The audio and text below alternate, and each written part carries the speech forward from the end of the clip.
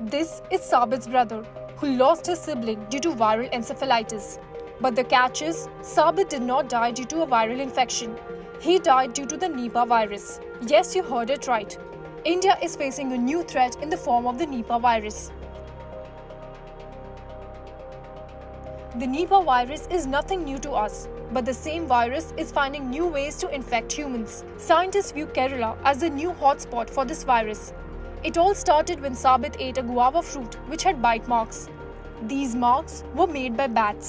അതിങ്ങനെ പല രീതി എന്താ പറയുക പല വെറൈറ്റി പേരക്ക മരങ്ങളൊക്കെ നട്ടു വളർത്തിയ ആളായിരുന്നു അപ്പോൾ ഉള്ള് ചുവന്നത് അങ്ങനെയുള്ള പല വെറൈറ്റി മരങ്ങൾ ഞങ്ങളെ വീട്ടിൻ്റെ പറമ്പിൽ തന്നെ ഉണ്ടായിരുന്നു അപ്പോൾ അവിടെ നിന്നൊക്കെ വീടാലൊക്കെ ഞങ്ങളെടുത്ത് കഴിക്കലുണ്ട് According to scientists, fruits are just one way through which humans are infected. Nipah can infect people when they come in contact with fluids containing the virus. Nipah virus has been shortlisted by WHO as a pathogen with epidemic potential. The fatality rate in Nipah is very high. It's from 70 to 100 percent.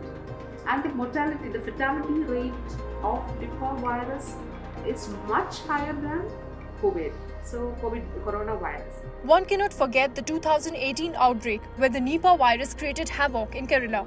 The God's own country has the riskiest world's so called jump zones for the virus. Kerala is home to 40 species of bats, creating ideal conditions for the Nipah virus to aggravate.